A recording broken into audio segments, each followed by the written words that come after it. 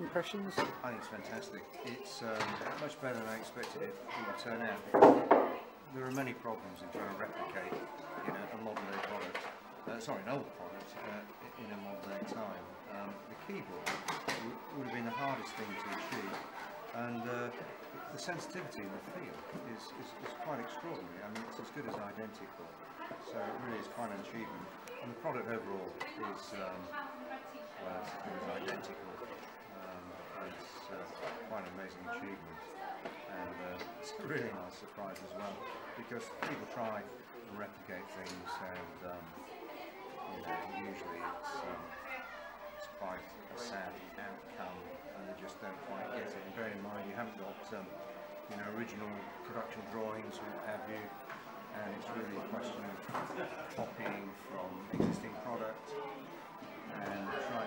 best guess where there are holes in the overall design. I think it's, uh. I really am thrilled. It's marvellous. Yeah. That's very kind of you to say so, Rick.